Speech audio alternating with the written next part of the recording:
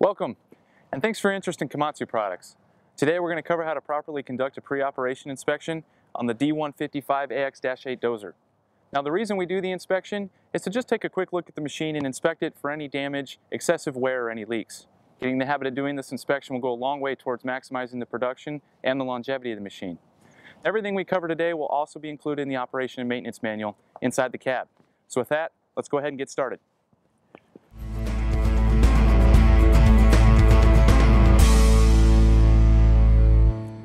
Okay, so as we approach the machine, we have a couple checks we can do right away.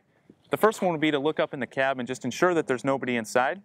Move our way down to the lights into the grill and just make sure there's no obvious signs of damage.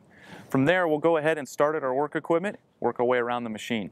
With the blade, what we're looking to check for is all of our welds, cutting edges, and corner bits just to make sure there's no signs of excessive wear and also ensuring that the bolts are in place. From here, we can go ahead and swing around to the back side of the blade what we're doing here is checking the backside of the blade, looking at all of our welds, and also our mounting points for the arms and the cylinders. Want to make sure that the pins and bolts are in place and everything's receiving the proper amount of lubrication. Also a really good opportunity to take a look under the front side of the machine and just make sure you don't see any signs of leaks. From here we can go ahead and look at our hydraulic piping and our hydraulic lines. So we'll just continue our way across the push arm until we get to the final mounting spot. If everything looks okay there, we can take a step back now and do our undercarriage inspection. What we want to do is just visually take a look at the idler, the shoes, the carrier rollers, the final drive and sprocket, work our way down to the track guides, the K-bogies, and the pivot shaft. If everything looks okay here, go ahead and take a look at our sight glass and make sure we have adequate levels of hydraulic fluid. Then we can continue to work our way around the machine. Go ahead and take a look at all of our mounting points. Then we'll move up to the rear view camera and just work our way down. So looking at the back side of the cab and all of our lights. From here, we can move to the ripper assembly itself, where we're going to be checking all the mounting points for the arms and the cylinders, making sure that all the bolts and pins are in place and everything's receiving the proper amount of lubrication. We're going to actually do that check on both sides of the ripper assembly. On our way over to the other side, we can get down and take a look at the shank and the ripper tooth, make sure that there's no signs of excessive wear.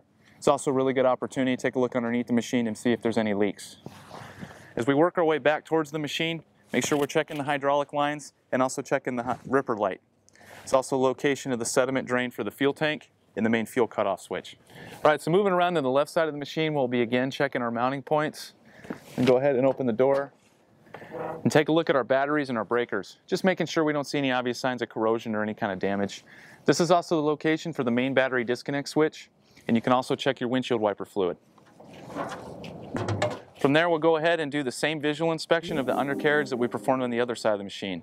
One thing to note though is that keeping the undercarriage clean can help with the inspection process and can also help with the longevity of the undercarriage. Move along to the push arms and cylinders, checking all the mounting points. Perform the same visual inspection that we did on the other side of the machine.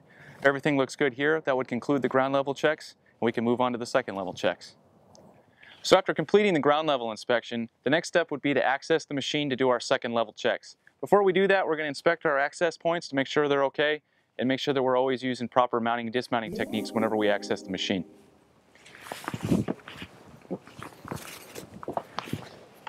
So once you've accessed the machine, we can go ahead and open the doors and do our visual inspection of the engine compartment. So what we're doing here is just scanning across to just check everything, make sure that there aren't any signs of leaks, that all the connections look good, and that there's no debris. If everything looks good here, you can move down and check our engine coolant and make sure we have adequate fluid levels. So as we finish up here and move towards the cab, it's a good idea to inspect the cab itself. Just take a look at the windows, the windshield wipers, and your lights. Just make sure nothing jumps out at you. Moving up to the top of the machine, got the location of the fuel fill spot. These machines utilize ultra low sulfur diesel. You also have your hydraulic and transmission fluid fill spots. Want to inspect your breather vents, make sure that they're in place. And finally, you have the transmission fluid check spot. So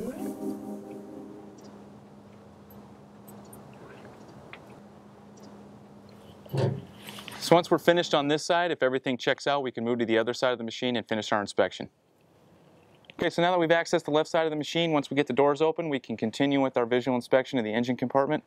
And like we did on the other side, all we're really looking for is just to make sure that the connections are okay, there's no leaks and there's no debris. From here we can move to our air filter and just take a look at our latches, make sure they're in place. You also have the location of your air restriction gauge. From here we can move to the engine oil check spot.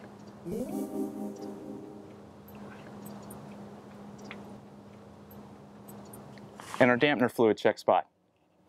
The last thing we'll do before we close the doors is take a quick look at our fuel pre-filter and just make sure that there's no contamination. From here, we'll go ahead and work our way towards the cab. So now that we've finished the engine inspection, we can go ahead and move to our final compartment, which is the location of the DEF tank, which you can tell by the blue cap. You also can check the DEF level in the sight tube. Also have the location of the DEF tank breather. Make sure that's in place, and also the location of the exterior cab filter. Finally, before we enter the cab, we just want to take a quick look at our wipers, our lights, and our windows and just make sure that there's no damage. If everything looks okay, that would conclude the pre-operation inspection, and we can go operate.